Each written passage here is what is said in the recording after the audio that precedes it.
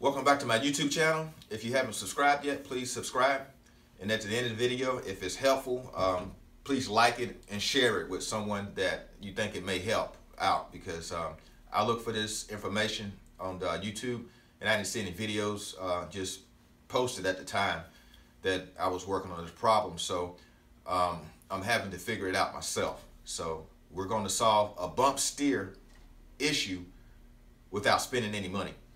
And when I mean spending any money, you can buy like uh, bump steer correction, um, you know, kits or whatever. We're not going to do that because uh, I think I have it figured out because it's a Flaming River rack and pinion kit that's, um, well, let me tell you that the car has air ride on it. So when it goes up and down, the front wheels are doing this number, right? So we don't want that.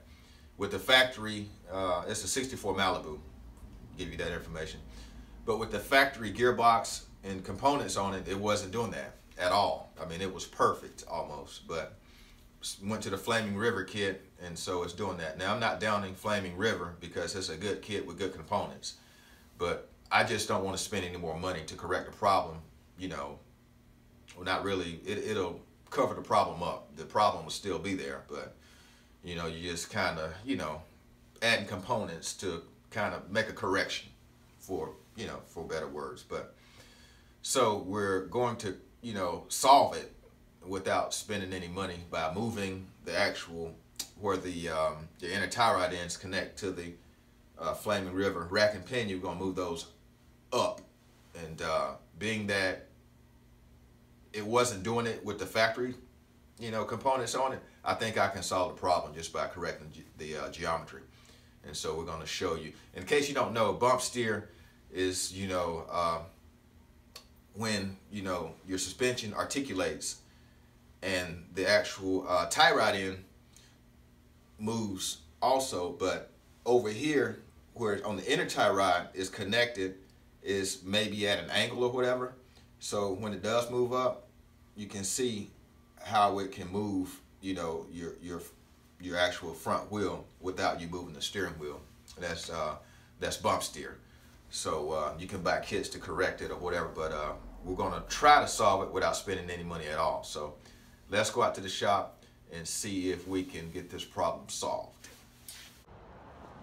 Now we're outside um, in the shop and we'll see exactly what this suspension is doing.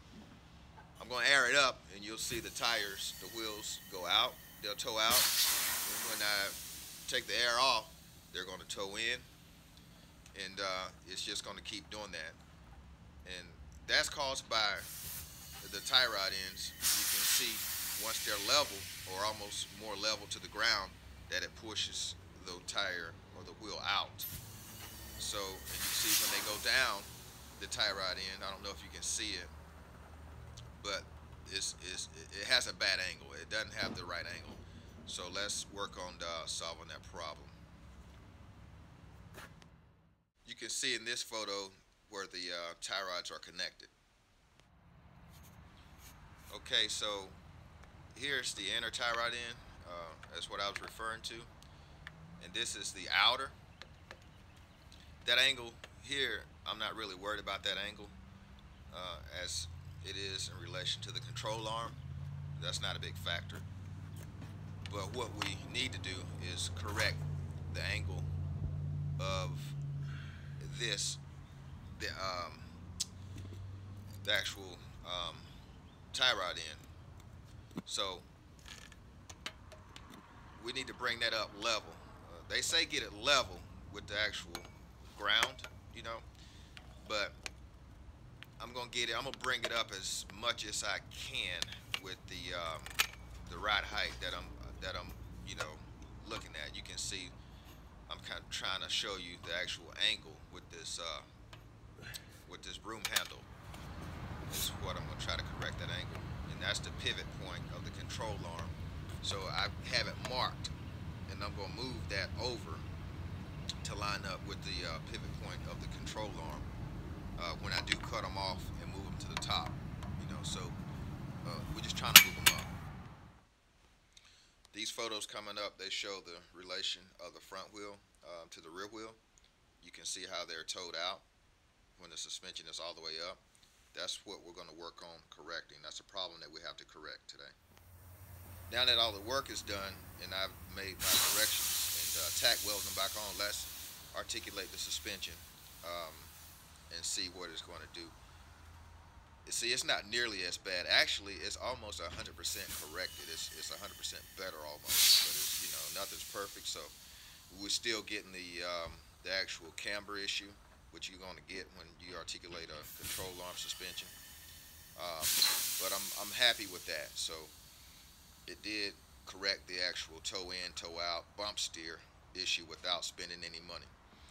And, you know, so without spending any money, um, you can't really, you know, go wrong with that. And uh, you can see where I moved the actual inner tie rod end mounting uh, tabs. I moved them up and just tacked them in. Um, and I moved them also outward to kind of get um, the actual um, radius point even with the control arm um, inner uh, connection, the lower control arm radius point. Uh, they're, they're level. They're not really level, but um, my ride height's going to be a little bit higher than what you see, so they will be level with my ride height, and that's where I'll, I'll align everything with the, um, you know, when I go uh, put everything back permanently.